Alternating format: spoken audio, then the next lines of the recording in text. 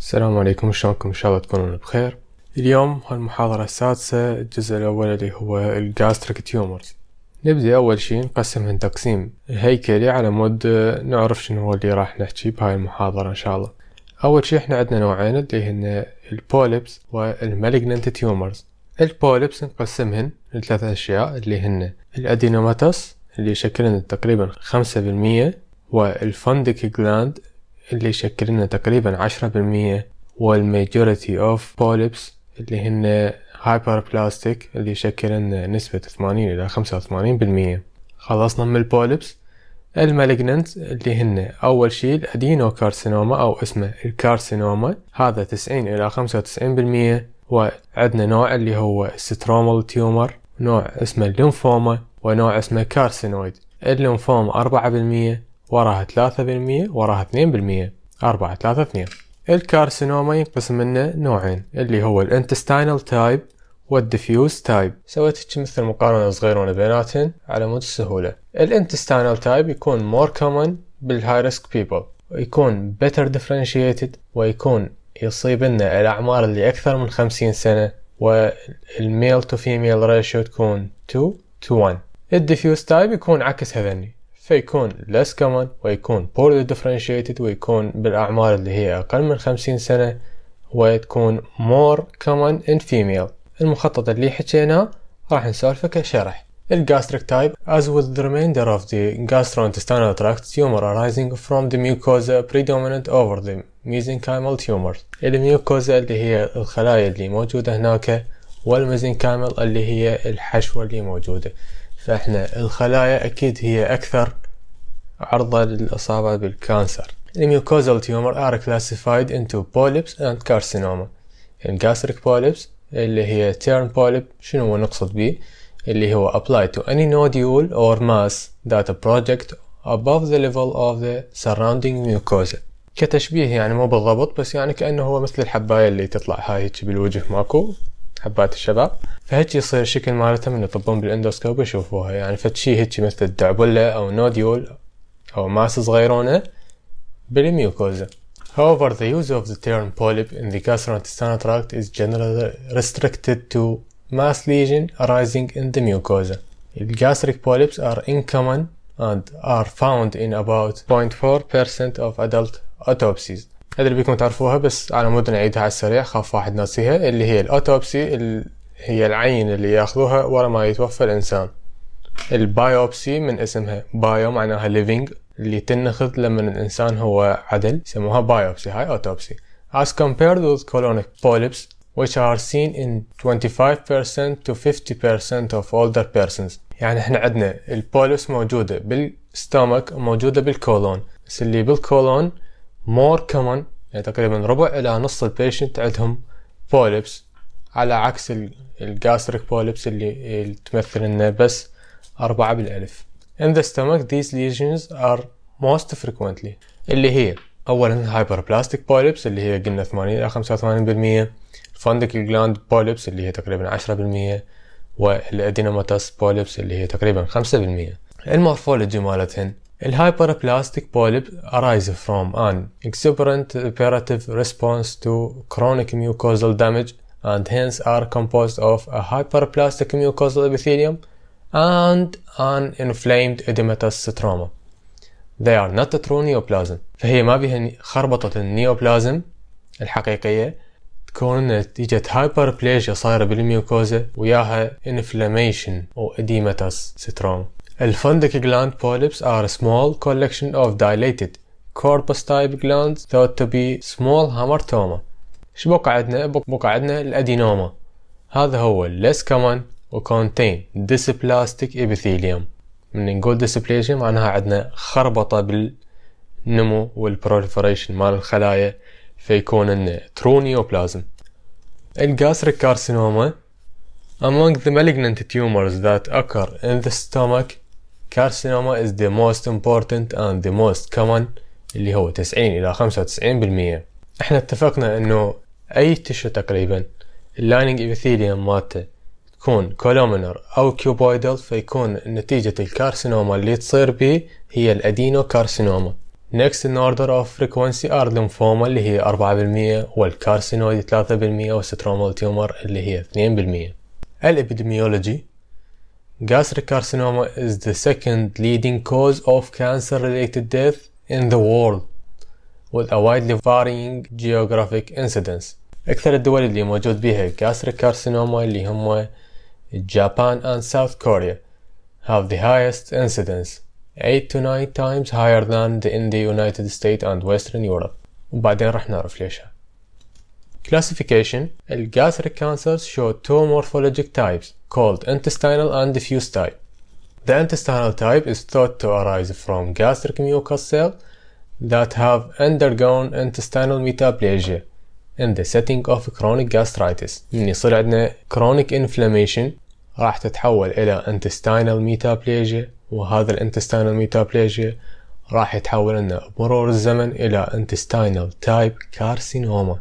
This pattern of cancer tends to be better differentiated and is more common type in high risk population. كان اللي حكيناه بالمخطط الأول. The diffuse variant النوع الثاني اللي هو thought to arise de novo يعني فتشي ينشأ من فتشي جديد from native gastric mucus cell is not associated with the chronic gastritis ما له أي علاقة بالinflammation tend to be poorly differentiated where the intestinal type carcinoma occur primarily after age 50 years old with a 2 to 1 male predominance. The diffuse carcinoma occur at an earlier age with female predominance. Risk factor for gastric carcinoma الانتستانال تايب أول شيء اللي هو الكرونيك gastritis with intestinal metaplasia يعني من عندنا inflammation كرونيك ويا يصير عندنا intestinal metaplasia فنتوقع انه يصير عندنا intestinal type adenocarcinoma ال infection with helicobacter pylori هذا ال infection ويا ال helicobacter pylori هو واحد من الاسباب اللي تسوي لنا ال chronic gastritis وهو نرجع لنا على النقطة الأولى. ال nitrite derived from nitrate found in food and drinking water and used as a preservative in prepared meats. May undergo nitration to form nitrosamine and nitrosamide. هاي المواد موجودة بال food وال drinking water موجودة أيضا بالمواد الحافظة مال اللحوم. Diet containing food that may generate nitrates اللي هي ال smoked food المدخن وال pickled vegetables اللي هي المخللات. جماعة الطرش وسوالفها وال excessive salt intake فمن هاي النقطة نعرف إنه هو ليش more common in Japan and South Korea لأن هم أغلب الأكل مالتهم هو يكون smoked food.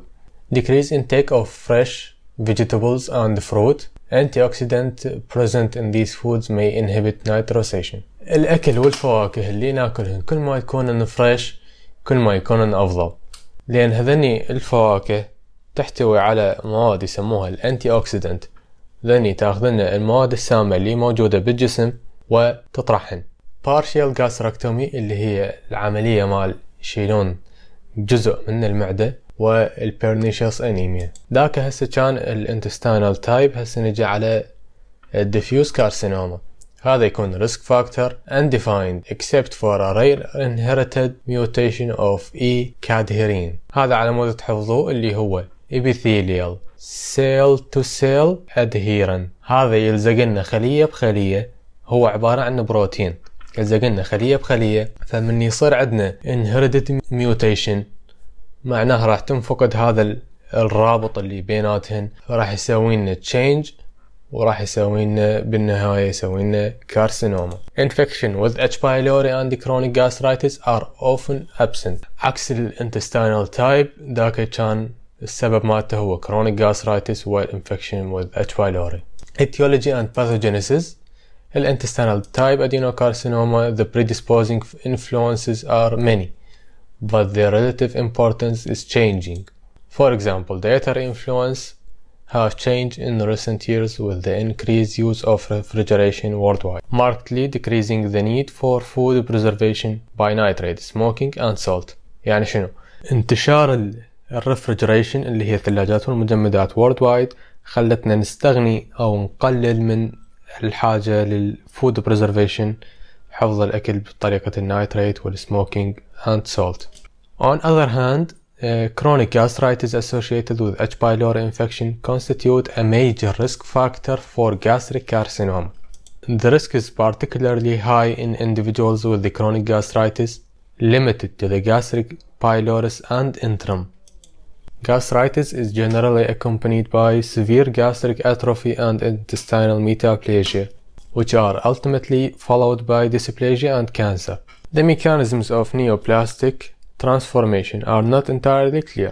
شلون تصير وشلون يتغير مو كلش واضحة. Chronic inflammation induced by H. pylori may release reactive oxygen species, which eventually cause DNA damage, leading to an imbalance between cell proliferation and apoptosis particularly in area of tissue repair هاي اللي هي كنتو ماخذيها المفروض بالثاني يمكن اللي هي روس reactive oxygen species هاي المواد السامة اللي تتكون لنا نتيجة السيل death اللي هو الابوبتوسيس اللي هو معناه programmed cell death فهذني المواد راح يسوون لنا DNA damage leading to an imbalance between cell proliferation and apoptosis Notably, individuals with H. pylori associated duodenal ulcers are largely protected from developing gastric cancer. لقوا انه اللي يصير عندهم duodenal ulcers نتيجة ال H. pylori يكونون largely protected from developing gastric cancer.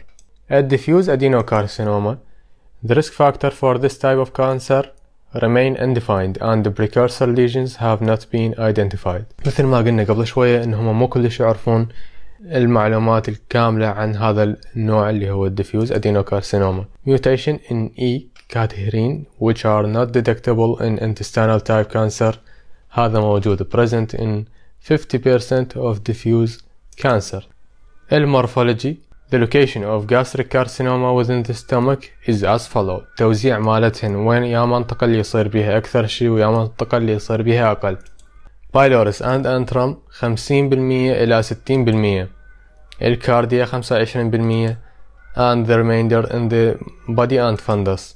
The lesser curvature is involved in about 40% and the greater curvature in 12% only. Thus, a favored location is the lesser curvature of the antropyloric region.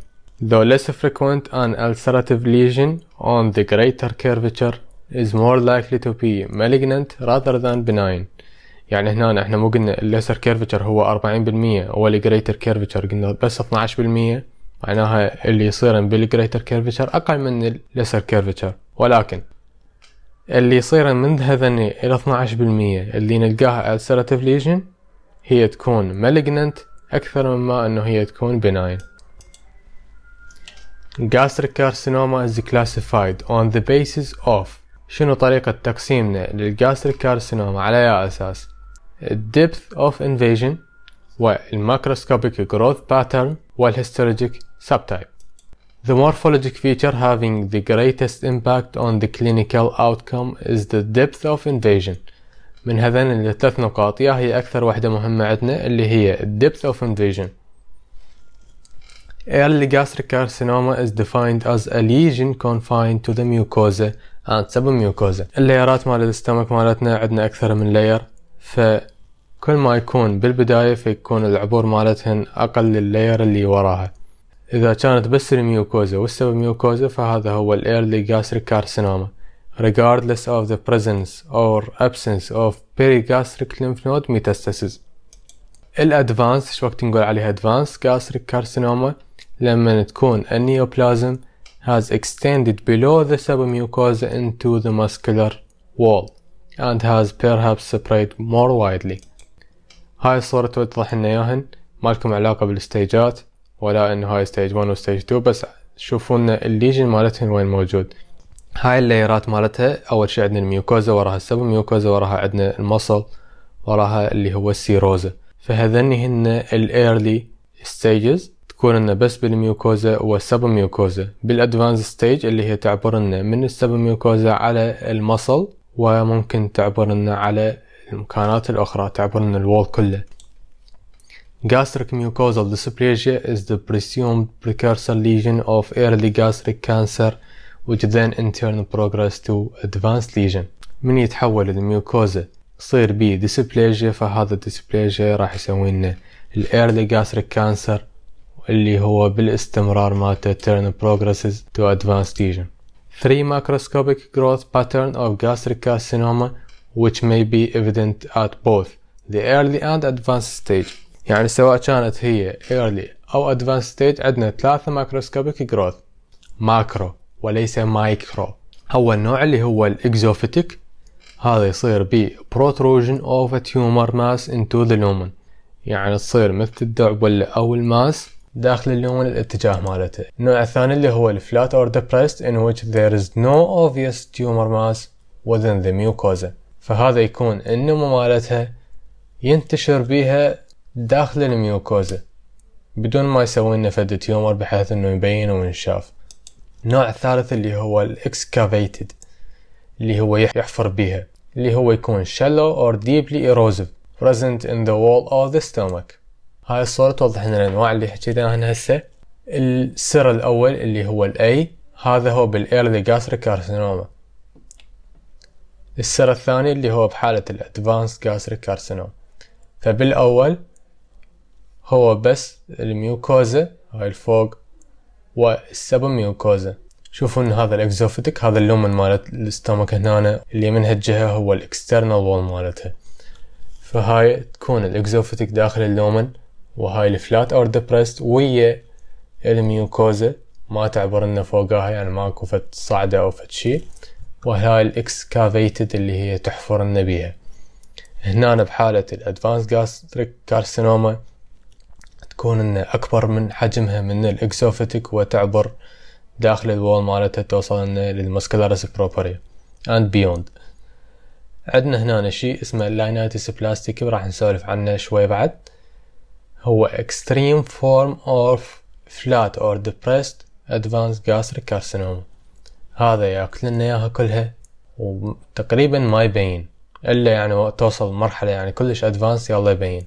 هذا ال excavated يحفر لنا اياها حفر كلها فهاي الصورة هي مال gastric carcinoma اللي هاي gross picture showing an ill-defined excavated central ulcer surrounded by irregular hipped up border. هاي هي شوفون إنه شلون محفورة حفر هاي داخلها و ill defined ما تقدر تحدد المكانات مال يعني الحافات مالتها وتكون irregular border دايرة مدايرها and a broad region of the gastric wall or the entire stomach is extensively infiltrated by malignancy. The rigid and thickened stomach is termed a leather bottle stomach or Linitis plastica إما نسميها leather bottle أو الاسم مالتها الأكثر شيوعا اللي هو الترجمة اللاتينية اللي هو Linitis plastica Metastatic carcinoma from the breast and lung may generate a similar picture. As mentioned earlier, histologic appearance of gastric carcinoma are best classified into the intestinal type and diffuse type. The intestinal variant is composed of malignant cells forming neoplastic intestinal gland resembling those of colonic adenocarcinoma.